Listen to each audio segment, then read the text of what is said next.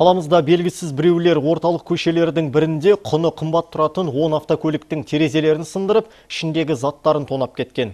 Бұзақылар оқиға орнынан дереу ізін суытқан. Аталмыш оқиға маусымның 11-нен 12-сіне қараған түні болған.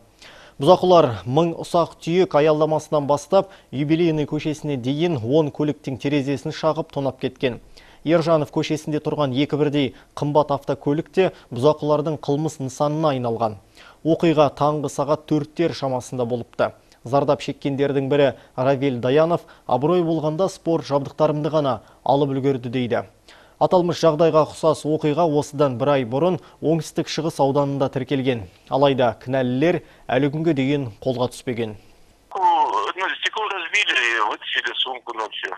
Менің көлігімде сигнализация бар. Таңғы сағат төртте ойнағандықтан оянып кеттім. Терезеден қарағанымда бұзақыларды байқап қалдым, бірақ мен бесінші қабаттан төмен түскенге дейін қашып үлгерді. Менің спорттық киімдер мен спорттық жабдықтарымды алып кетті.